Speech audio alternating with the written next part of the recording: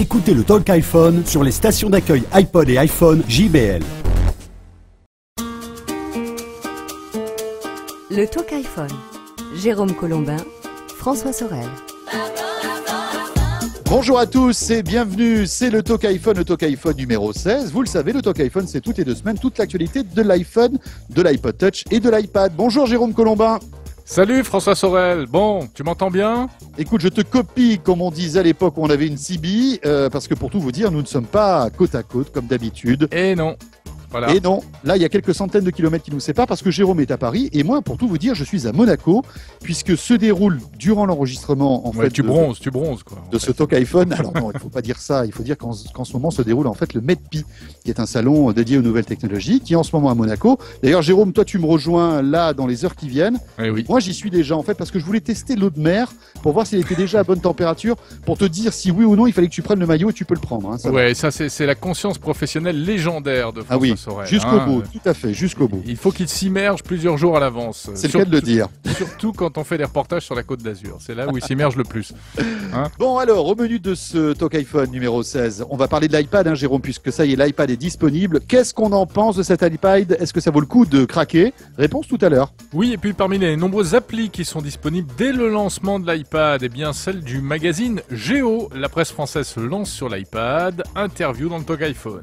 Et puis Jérôme, je vais t'épater, tu sais qu'on peut faire tourner du flash sur iPhone. Oh là, il me fait Oui. peur. Bon, enfin, tu vas voir, c'est pas tout à fait le cas, mais ça marche un petit peu quand même. Et on finira par du jeu vidéo. Oui, du jeu vidéo dans le Talk iPhone. On va en parler de plus en plus souvent. Aujourd'hui, c'est Sofiane qui nous présente Chaos Rings, un jeu exclusivement sur iPhone. Allez, c'est parti pour ce Talk iPhone numéro 16, bienvenue. Bon, alors avant toute chose, François, un petit mot quand même de l'actualité prochaine, là, très bientôt. Euh, le 7 juin prochain, on devrait enfin connaître le visage du futur iPhone. Attends, excuse-moi, je suis en train de me mettre un peu de crème bronzante. Excuse-moi. hein. Il fait beau à Paris, tout va bien? Oui, je te remercie. Ça y est, la pluie est revenue. euh, Non, c'est le bonheur. C'est pas drôle. Euh, non, c'est vrai. Alors oui, le 7 juin, ça y est, euh, bah, Steve Jobs remonte sur scène, Jérôme, et pour annoncer quoi? Le nouvel iPhone, c'est ce que tu disais. Ouais. C'est quand même euh, ça une sacrée news. Et je crois que c'est la première fois que euh, le service de presse d'Apple communique sur le fait que Steve Jobs va monter sur scène. Exactement, Euh, tu t'es c'est fait la même remarque que moi. hein. Tu t'es fait la même remarque que moi en recevant le communiqué. C'est vrai que c'est étonnant. Ils annoncent euh, la présence de Steve Jobs. Qu'est-ce que ça veut dire? Est-ce que derrière ça, même il n'y aurait pas un petit changement de stratégie en- Ouais, au c'est niveau de la communication? On Peut-être que Steve Jobs, bon, s'est déjà transformé en rockstar, ça on le sait. Alors, Ouais. tu sais, comme une rockstar maintenant, bon, on, on le dit, euh, voilà. Steve Jobs euh, en concert. euh, tour. pour annoncer le nouvel iPhone. Bon, en tout cas, euh, ce qui ce qui est intéressant pour nous, Enfin, par que contre, sans attends, doute- le nouvel Oui. iPhone, excuse-moi, je te coupe, mais là, c'est nous qui, qui, euh, qui rêvons un peu parce que euh, il n'est pas certain officiellement que ce soit pour le nouvel iPhone. Oui, mais on peut imaginer que si Steve Jobs euh, monte sur scène au tout début de cette conférence des développeurs euh, concernant l'iPhone et, l'écosystème euh, iPhone, c'est qu'il ne va pas annoncer, si tu veux, un nouveau jeu. Je pense qu'il va venir sur scène pour annoncer un nouvel iPhone parce que tout le tout. Tous les, les timings sont bons, tout le monde attend cet iPhone. Apple ne peut pas faire autrement que d'annoncer un nouvel iPhone. Après, la question qu'on peut se poser, même s'il n'y a plus de mystère concernant, à mon avis, l'annonce d'un nouvel iPhone, c'est quand va sortir ce nouvel iPhone? Alors, il y a des rumeurs qui circulent sur le web. Euh, on, on annoncerait la sortie de ce nouveau téléphone pour euh, fin juin, donc quelques jours après cette annonce de Steve Jobs. On Mhm. verra bien. Bon, ben voilà, on espère qu'on l'aura pour l'été, hein, quand même. Espérons-le. Bah oui, il faut qu'on frime sur la plage quand même. Bon, François, je te propose de démarrer avec la première partie du répondeur. Et, ah, ça, euh, c'est une bonne idée, Jérôme. Ouais, et tu vas voir qu'en plus, cette semaine, c'est particulièrement sympa. Le répondeur. Bonjour Jérôme, bonjour François. Euh, J'ai une application coup de cœur à faire partager. Une application euh, inutile au possible, hein, qui permet de changer la voix, en fait. Celle que j'utilise actuellement. Vous vous rendez compte des effets que ça peut faire C'est juste une des, des 12 voix, je crois, qui est... qui est possible de changer. euh, vous parlez dans votre micro, vous enregistrez et vous choisissez l'effet. Voilà, tout simplement, ça s'appelle Voices V-O-I-C-E-S. Et c'est disponible à 1 euro. et des poussières sur l'iPhone. Bonjour, c'est Alfonso de Paris.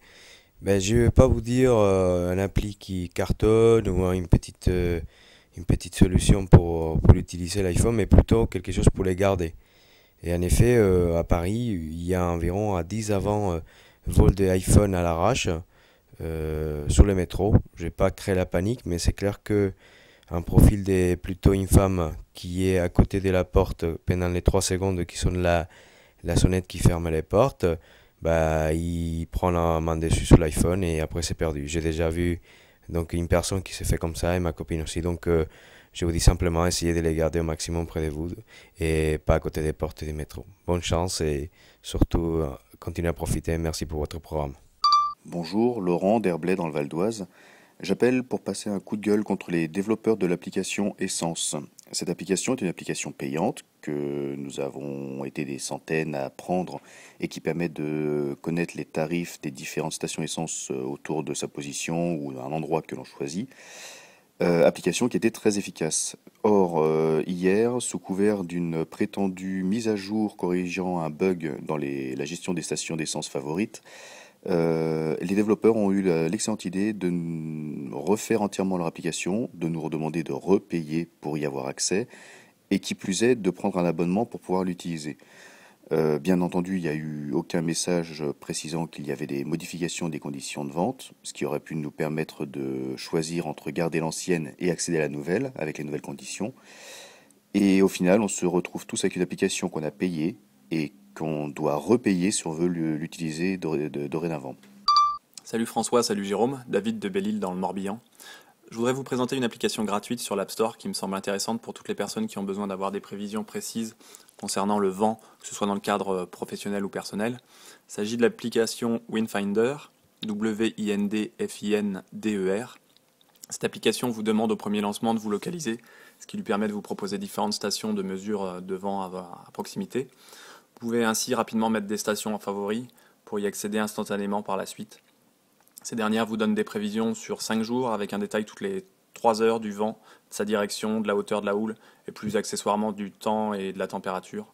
Merci beaucoup pour votre émission et Kenavo. Bonjour, moi c'est Franck euh, de Reims.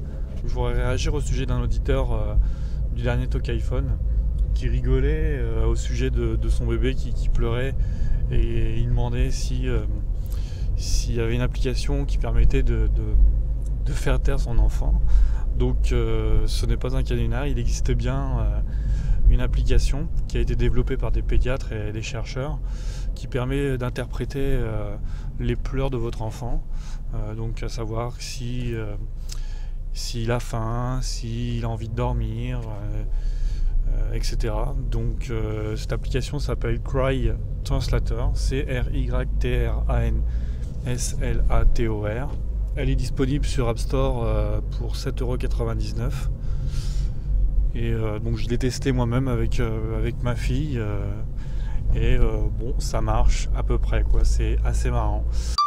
bon, alors une appli pour arrêter de faire pleurer les bébés. Vous voyez, on, arrive à tout hein, dans Talk iPhone finalement, c'est ça qui est formidable. Tiens, moi Jérôme, j'ai une petite idée aussi. Oui. eh bien, prêter notre iPhone au bébé justement directement, parce que quand tu vois que ah bah, tu prêtes le tien alors arrive à se servir de l'iPhone. Bon, c'est sûr que si votre euh, gamin a trois mois, c'est peut-être un peu tôt quand même. Et puis il risque de terminer, je sais pas moi, dans le, le blédina ou dans le lait. Et là, je sais pas trop si ça va marcher. Mais bon, à partir de un an, un an et demi, ça peut être sympa de, de prêter évidemment sous haute surveillance un iPhone parce que les gamins euh, arrivent très vite à s'en servir. C'est étonnant. Hein. Bon, alors on passe de l'iPhone à l'iPad maintenant, parce que le Talk iPhone, c'est tout l'univers de l'iPhone, de l'iPod Touch et de l'iPad aussi. Forcément. L'iPad, ça y est, il est sorti en France. Euh, ben on, l'aura vraiment attendu. Hein. Deux mois de retard par rapport aux États-Unis. Il était temps. Hein. Il était temps, euh, mais c'est vrai que les questions qu'on se pose ben, sont toujours les mêmes, hein, Jérôme. Est-ce que ça vaut le coup aujourd'hui, alors que l'iPad est disponible en France Est-ce que ça vaut le coup d'investir 500, 600, 700 euros euh, dans cette tablette d'Apple tout le monde dit qu'elle est magique. Alors nous, la, chance qu'on a, euh, c'est que on a pu très vite avoir un iPad venant des États-Unis. Donc depuis plusieurs semaines, depuis deux mois, on peut le tester en temps réel. Bien, ce qu'on vous propose maintenant, c'est de vous dire un petit peu ce qu'on en pense finalement. Exactement, et puis on va même euh, élargir encore. On va appeler notre ami Laurent, euh, responsable du blog iPhone.fr, partenaire du Talk iPhone, et puis responsable également du blog iPad. Donc il en connaît un rayon à la fois sur l'iPhone et sur l'iPad. Euh, allez, on va partager un petit peu nos, impressions quant à cet iPad après deux mois d'utilisation. Bonjour Laurent. Bonjour à tous. Bon alors Laurent, toi, toi aussi, ça fait deux mois que tu as un iPad. Alors la question que qu'on va te poser maintenant, c'est est-ce que finalement Aujourd'hui, tu achèterais un iPad en connaissant un petit peu le produit? Alors, je l'ai acheté euh, en connaissant bien l'iPhone, donc en sachant exactement euh, ce que j'ai acheté, dans ses avantages et dans ses inconvénients. Donc oui, je ne suis pas surpris. oui, je suis content de l'achat et oui, je le rachèterai. Euh, sans problème. Euh, il correspond vraiment à ce qu'on a vu, un écran euh, assez, assez fantastique, des possibilités de connexion Internet qui permettent d'utiliser n'importe où dans la maison avec le web dans les mains. On a vraiment une tablette qui, qui répond vraiment à ce qui a été annoncé. Il n'y a pas de tromperie sur la marchandise. En termes de, effectivement, de fonctionnalité, de performance, etc., euh, on n'a pas été trompé. Maintenant, en termes d'usage, parce que c'est ça finalement qui est intéressant aussi, c'est de voir, c'est est-ce que euh, bah, chez toi, l'iPad a, trouvé sa place? Oui, l'iPad a trouvé la place qu'avait l'iPhone avant. C'est-à-dire qu'il a juste euh, multiplié par 5 la surface d'écran, mais c'est la place qui permet à chacun dans le foyer de venir consulter ses mails, d'aller voir un article sur Wikipédia, c'est la tablette qui permet de ne pas allumer le PC quand on n'a pas envie de l'allumer. Et plus il va faire chaud, moins on va avoir envie de l'allumer. On a une machine qui fait pas de bruit, qui, euh, qui est disponible, qui s'allume instantanément. Donc elle a vraiment la place euh, bah, que j'avais prévu qu'elle aurait dans, dans, le foyer. Oui, mais enfin, euh, Laurent, c'est vrai que malgré tout, c'est un produit qui est loin d'être parfait. Pas de webcam. Il euh, y, a plein de choses qui ne sont pas encore véritablement terminées. On sent que l'App Store, parfois, on nous vend des, applis euh, qui sont très très chères, qui n'ont pas forcément d'utilité. Ah, il va s'énerver là, François. Non, non, non, mais franchement, je, vas-y, vas-y. Effectivement, effectivement, techniquement, c'est un produit qui, euh, qui, est, qui, est, bluffant, mais à l'usage, je ne suis pas tout à fait d'accord avec toi. Moi, il a encore du mal à trouver sa place dans la maison et auprès de ma famille. D'accord. Alors moi, je vais là où il n'a pas trouvé sa place et où il aura du mal à la trouver tant qu'il ne sera pas plus ouvert, c'est par exemple pour bloguer. Je peux pas vraiment bloguer avec l'iPad. Et j'aimerais bien, j'aimerais bien me mettre euh, tranquillement dans un fauteuil plutôt que devant le PC pour, euh, pour écrire les articles. Moi, je, je, rejoins assez ce que tu dis, Laurent. C'est-à-dire que c'est vraiment une machine de consultation, euh, aussi bien consultation du web que des emails, que des vidéos aussi. C'est pas mal pour la vidéo quand même. Mais, mais, pas du tout de, production. et c'est pas, c'est pas un outil bureautique.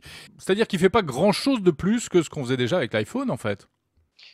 Alors, Exactement. Euh, moi, il a remplacé. J'utilise plus mon tout petit écran pour euh, aller lire un article vite fait. Euh, j'utilise un, grand écran. On parle juste quand même d'une notion de confort avec un écran qui, est bien multiplié. autre lacune, et là, certains vont crier flash, etc. Mais je suis désolé. Il y a des sites. C'est une machine qui est parfaite pour surfer. On n'a plus besoin de zoomer en permanence. L'écran est bon. Il a la bonne taille. On pourrait surfer sur tout Internet. Et il n'y a pas flash. Et je suis désolé, mais allez voir des, des vidéos, euh, le dernier Lost, eh ben c'est pas possible parce qu'il n'y a pas Flash. Et ça, bah c'est pas, c'est, c'est pas vraiment la bonne, euh, c'est pas ce qu'on peut attendre d'une machine de consommation à 100%. Même s'il y a quelques solutions, on en parlera tout à l'heure avec un auditeur d'ailleurs dans le talk iPhone. Claude euh, Browser. ouais, exactement, Claude Browser. Euh, juste à propos de l'iPhone, quand même, on peut se demander si le, le pari de Steve Jobs, c'était aussi d'inventer un nouvel appareil, d'inventer de nouveaux besoins chez les, chez les utilisateurs que nous sommes. Est-ce que réellement, il y a quelque chose de nouveau qui a été inventé ou est-ce que c'est pas juste un plus? En fait Alors, euh, moi j'aurais tendance à dire que quand on a eu un iPhone, l'iPad n'est pas, est pas, c'est pas une révolution. C'est exactement ce que ce qu'on disait. Euh, j'utilisais l'iPhone, maintenant j'utilise l'iPad, c'est plus confortable, mais ça n'a pas transformé complètement la consommation de, médias. Même si les études montrent qu'il y a une consommation de vidéos très importante. Euh, parce qu'aux États-Unis, ils commencent à avoir des services qui se passent de Flash et qui téléchargent euh, ABC, par exemple, euh, à adapter son site à l'iPad, etc. Mais, mais globalement, est-ce que l'iPad est révolutionnaire pour quelqu'un qui a connu l'iPhone ou qui en a un? Non. Par contre, pour quelqu'un qui a juste un PC dans un coin de sa maison, qui est un peu vieillissant et puis qui lit des mails et je pense euh, par exemple à des seniors, euh, qui lit des mails et qui regarde deux, trois pages Internet de temps en temps, l'iPad, il va quand même être assez révolutionnaire à mon avis. Mais c'est vrai, tu as raison, hein, Laurent. Sur les seniors, même pour les, jeunes enfants, c'est évidemment il y a la magie de l'ergonomie Apple qui est qui est complètement bluffante. Mais quand on, on voit le tarif, on, est à 500 euros. Hein, c'est un, jouet de riche. On est bien d'accord je, me pose la question, je me mets à la place d'une personne qui hésite aujourd'hui, qui a un vieux PC, qui hésite entre un netbook et un iPad. Typiquement, là, on l'a expliqué tout à l'heure avec Jérôme, je ne suis pas physiquement à côté de Jérôme. Euh, euh, voilà, on est à plusieurs centaines de kilomètres. Euh, si je n'avais qu'un iPad, on ne pourrait pas faire ce qu'on fait aujourd'hui. Alors que là, je le fais depuis un petit ordinateur, c'est-à-dire que je peux lancer Skype et à la fois en même temps regarder des actus, pouvoir discuter avec Jérôme et le voir en visio. Enfin voilà. Donc là, typiquement, alors bon, c'est un usage qui est pas fait pas tous, hein, le fait de faire des podcasts comme ça. Mais euh, voilà, dans, si, si aujourd'hui on doit choisir entre un netbook et un iPad, je pense que la question ne se pose pas. le, le, le, le, ça remplace pas l'ordi. Hein. Voilà, le netbook est, est, est, prépondérant, quoi. Clairement, ça remplace pas l'ordinateur. C'est pour ça que finalement, est-ce que le prix qui, qui est élevé, est-ce que le prix va être la barrière? Effectivement, ce que, ce que je, je traduisais par, par jouet de riche, entre guillemets, c'est qu'effectivement, on va, on va aller vers l'iPad quand on a déjà équipé son foyer de, euh, tout ce qu'il fallait pour, être confortable. Et, ça, va être le segment effectivement de l'iPad sur les, sur les premières années jusqu'à ce qu'éventuellement, au premier mois, euh, jusqu'à ce que les prix baissent. Mais, c'est effectivement, c'est pas l'outil qu'on va, acheter en premier. Il n'y a, a, aucun doute là-dessus. Et je pense que Apple l'avait tellement prévu qu'ils ont été surpris par la demande quand même. Laurent, merci beaucoup. Merci à vous. Alors Jérôme, cet iPad est attendu par nous, bien sûr, mais aussi par la presse, car la presse veut arriver sur l'iPad et euh, lancer leur lente mutation vers le dématérialisé. Et c'est le cas de Géo, qui lance son appli. Oui, le magazine Géo, euh, prestigieux magazine de reportage consacré à la Terre, euh, etc., avec beaucoup d'images hein, traditionnellement dans la version papier de Géo, eh bien, ils sont parmi les premiers euh, à lancer leur version iPad. Et on en parle avec Franck Barlemont, qui n'est autre, s'il vous plaît, que le responsable informatique du groupe Prisma Presse. Alors, cette application comporte au final deux, parties. Une première partie qui est le, magazine tel qu'il est vendu en kiosque papier, euh, magazine donc euh, complet qui permettra d'utiliser déjà quelques fonctionnalités de l'iPad et notamment une, navigation et une lecture euh, des textes de manière plus facile, en tout cas plus importante.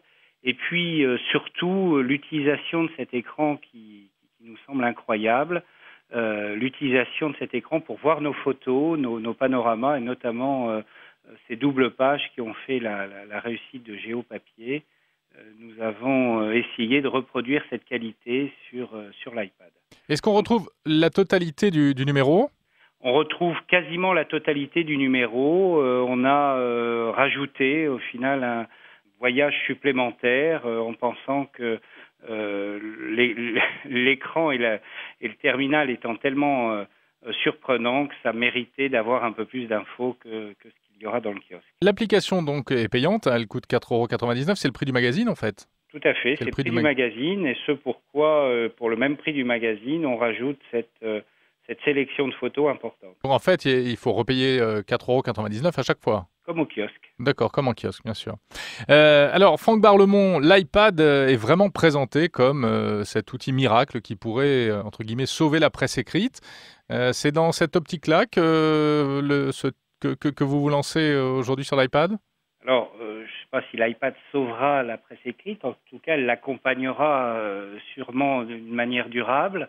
effectivement, on croit davantage à l'iPad pour plusieurs raisons. D'abord, c'est un format qui correspond bien à notre métier. On peut y voir des photos, on peut y, lire du texte de, très bonne qualité.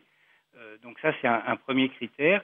Deuxième critère qui est l'autonomie. On n'est pas obligé de recharger euh, constamment euh, l'iPad. On a fait des tests jusqu'à 12 à 13 heures de lecture. On parle aujourd'hui de Géo. Est-ce qu'il y aura d'autres titres du groupe Prisma prochainement sur l'iPad? Il y en aura, il y en aura d'autres. Oui, il, y a, plusieurs projets. Le, premier était euh, peut-être le plus difficile parce qu'il fallait démarrer à partir d'une feuille blanche, aussi bien par rapport au choix du contenu que sur la manière dont l'iPad allait être visible et allait se comporter. Euh, ça a donné euh, très vite des idées aux autres titres et on, peut euh, considérer qu'il y aura une à deux autres applications avant la fin de l'année de la part Prisma Merci Franck Barlemont à propos de cette appli Géo sur iPad. Alors, autre appli euh, qui vaut le détour, euh, si vous aimez l'actu, il y a l'appli BFM TV, alors qui existe depuis de nombreux mois sur euh, l'iPhone, qui permet d'avoir le flux de la chaîne télé. Il y a une autre appli BFM TV qui vient de sortir, et cette fois-ci qui est exclusive iPad, et qui est vraiment innovante, Jérôme, parce qu'elle te permet en fait de construire toi-même ton JT préféré avec tes sujets préférés. Mhm. C'est assez innovant, je vous invite à la télécharger, elle est complètement gratuite, et la qualité de l'image, si vous avez une bonne connexion Internet, est exceptionnelle. Voilà. Le Talk iPhone.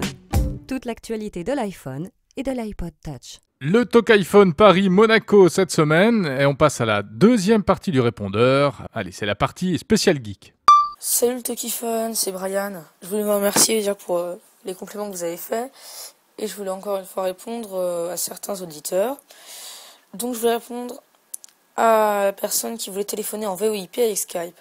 Alors, euh, il faut qu'il sache que la VoIP sur Skype n'est pas disponible. Euh, d'après ce que je sais, normalement, il y a une version qui devra sortir d'ici pas très longtemps avec de la VoIP. Sinon, s'il a mis la VoIP sur son forfait, il peut quand même utiliser Fring. Voilà, c'est gratuit, ils ont téléphone en VoIP avec. Et aussi, je voulais répondre à la personne donc, qui avait le, même, la même sonnerie entre son, ses notifications Facebook et sa sonnerie SMS.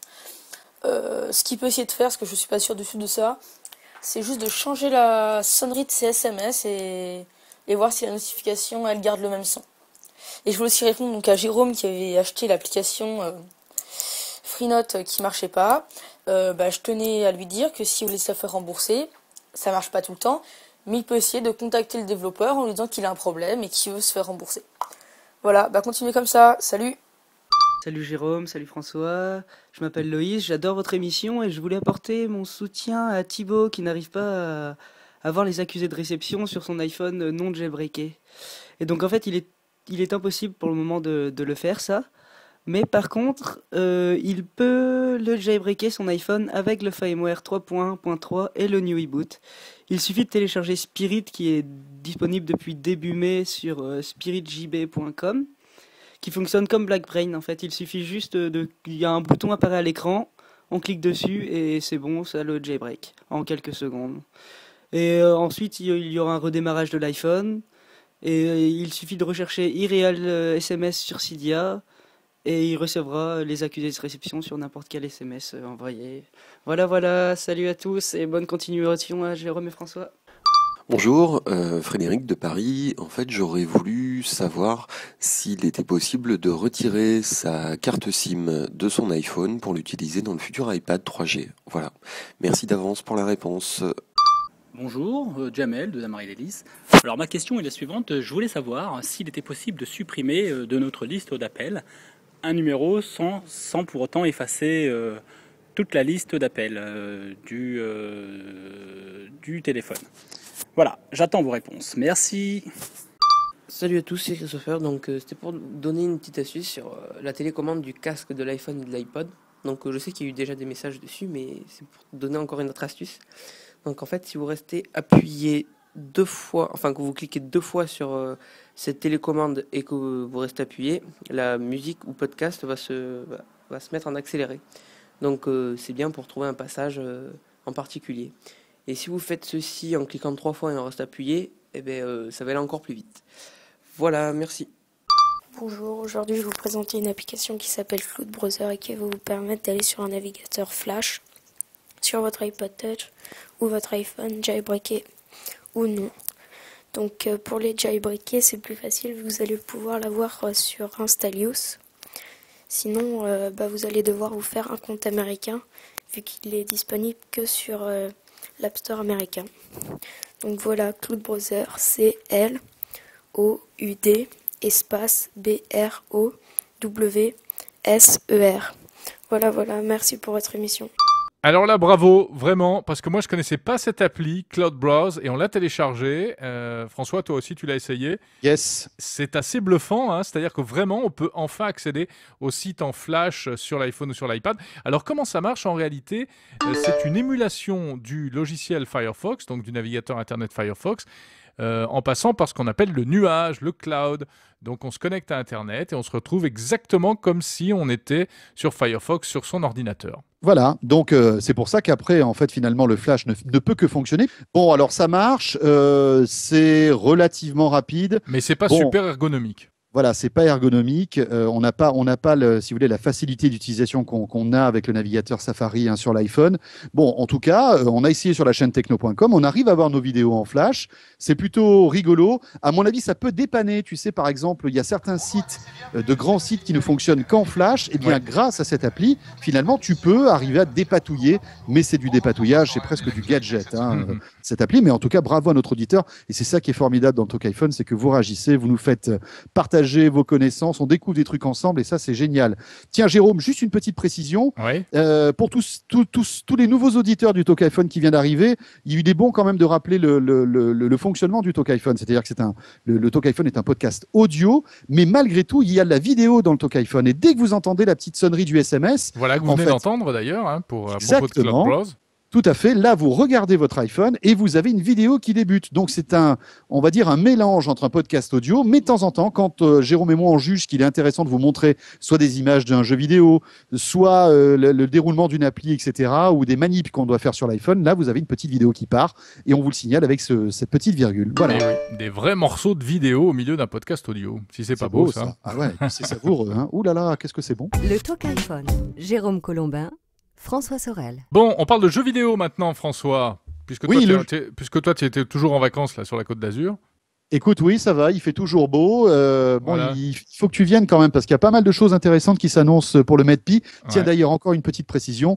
Le JTEC, vous savez, le, le JT techno qu'on présente chaque semaine avec Jérôme Colombin sera réalisé depuis le MEDPI, donc pour ce week-end. Il est d'ores et déjà en ligne d'ailleurs, hein, vous pouvez le retrouver. Comme ça, vous aurez une, une vision un petit peu globale de ce MEDPI. Exactement. Donc, parenthèse refermée. Vous savez qu'on va parler de jeux vidéo maintenant euh, avec Sofiane qui est avec nous. Sofiane qui, vous le savez, est euh, le rédacteur en chef de Mobile Magazine. Bonjour Sofiane. Bonjour. Sofiane qui est un fan de jeux. Et aujourd'hui, tu nous parles d'un petit phénomène. C'est un, un, jeu de rôle euh, exclusivement sur iPhone. De quoi s'agit-il?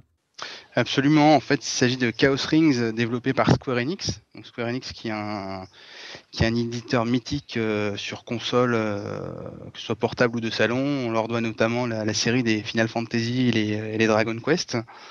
Et donc ils ont, ils ont décidé de, lancer une nouvelle, euh, une nouvelle série vraiment exclusive à l'iPhone, qui s'appelle Chaos Rings. Et ce, qui, est important de souligner, c'est qu'ils l'ont vraiment développé de A à Z pour l'iPhone, contrairement à d'autres jeux qu'ils ont lancés avant, mais qui étaient des adaptations avec une maniabilité parfois bancale ou une réalisation pas toujours à la hauteur. Là, c'est un projet 100% iPhone. Bon, alors, euh, l'objectif, c'est quoi? Qu'est-ce qu'il faut faire dans ce jeu, Sofiane? Donne-nous envie. Bon, en fait, ça démarre doucement. C'est euh, une série de couples qui se retrouvent dans une espèce de lieu un peu lugubre. Euh, oula, oula, mais c'est correct quand même? Ah oui, oui c'est très correct. Ça. ça. reste très correct. Un peu violent, mais correct. Et, euh, et donc, ils doivent, ils doivent friter des monstres pour, pour survivre dans, un, dans une arène. Et donc, ça commence au niveau du scénario, on est un peu sur notre fin au début. On, c'est pas trop, on se dit c'est un peu léger, et ça s'étoffe vraiment par la suite, euh, et ça prend de l'ampleur euh, à tel point que le, jeu, enfin le scénario et le système de jeu en lui-même, ça devient très addictif. Et euh, il y a aussi une petite originalité, c'est qu'on par rapport aux autres jeux de ce type, c'est qu'on peut attaquer donc chaque personnage à tour de rôle ou aussi euh, des attaques combinées, d'où l'histoire des couples en fait. Et ça, donne, ça ouvre, ça ouvre un, des, un, autre champ de possible. Alors la particularité, c'est donc d'avoir réussi à porter un jeu comme ça sur le petit écran de l'iPhone, quoi. Voilà, enfin porté, non, pour le coup, il a vraiment été développé. Oui, ou inventé. Euh, c'est eh oui, très important parce que autant euh, les premiers, on a eu droit du même éditeur Final Fantasy 1 et 2 il y avait des graphismes, bon, vraiment, c'était des adaptations de la, de la Nintendo, euh, des graphismes mignons, mais en 2D, enfin, c'était un peu ridicule. Là, on a un jeu en 3D, euh, magnifique, très coloré, avec des, des, monstres énormes. Les premiers monstres que vous rencontrez, vous vous dites, tiens, je suis tombé sur un boss, tellement, euh, tellement ils sont énormes et beaux, et non, en fait, c'est tous les ennemis qui sont comme ça. Vraiment, enfin, graphiquement, ce jeu est, est exceptionnel, je pèse mes mots. Et il coûte combien? Alors, il coûte 10,49€.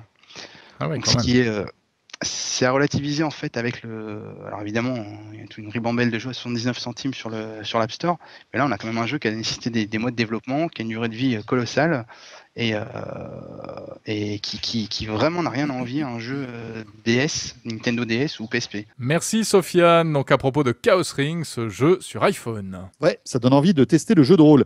Tiens, et puis euh, juste une chose, dans deux semaines pour le prochain Talk iPhone, on va parler de la Coupe du Monde de foot et de toutes les applis qui gravitent autour de cet événement sportif planétaire, euh, à la fois le jeu ah. vidéo, mais aussi toutes les applis qui vont vous permettre de suivre la Coupe du Monde. Bon bah c'est bien, je reviendrai François alors. Allez, hop, troisième partie du répondeur tout de suite François. Et alors attention parce que on a reçu un message assez étrange, écoute bien. François, je suis ton père. Jérôme Colombin s'est transformé en Dark Vador. Dis-moi, euh, tu m'as reconnu J'ai l'impression. Oui, je t'ai reconnu. Euh, c'est le masque, en fait. Euh, ah ouais. Non, bah, euh, je vois que tu t'amuses plutôt pas mal quand je, quand je suis loin de toi là. Euh. je m'occupe comme je peux. hein. Bon, bah oui, bah ça c'était fait avec euh, une appli euh, Voices dont un auditeur nous parlait déjà en, en début d'émission. Et écoute, parce qu'il nous a envoyé un autre message. Enfin non, je sais pas. Là, je crois que c'est un message qui vient de très très loin. Bonjour le talk iPhone, euh, tous ces auditeurs. Alors euh, moi j'ai un petit coup de gueule à passer parce que vous parlez toujours de, de ceux qui appellent des quatre coins du monde, hein, que ce soit Tahiti, Canada, la Belgique, tout ça, mais jamais de ceux qui, qui appellent les autres galaxies. Alors euh, moi, aussi j'appelle de loin et j'aurais voulu qu'on me passe à l'antenne. En plus j'ai une application à faire partager, ça s'appelle Lightsaber, c'est pour avoir un sabre laser, c'est c'est super génial. Voilà, Euh, c'était Dark Vador de l'Étoile Noire. Salut, c'est John de Suisse. Eh oui. euh, alors aujourd'hui, je vous propose un petit euh, logiciel qui est déjà sur l'iPhone, mais qui maintenant est sur l'iPad. C'est Logmain Ignition et ça permet à l'iPad de se connecter à distance à un Mac ou un PC sur lequel on a installé la version gratuite d'un petit programme et d'en prendre le contrôle pour naviguer dans ses dossiers et lancer ses logiciels.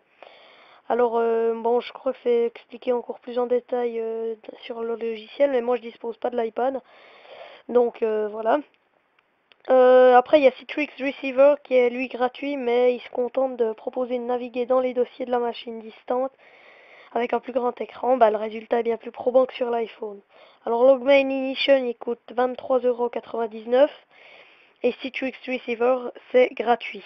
Voilà, c'est tout. Ciao Bonjour, je m'appelle Taoufik, je vous appelle de la Tunisie. Je fais partie de vos éditeurs lointains.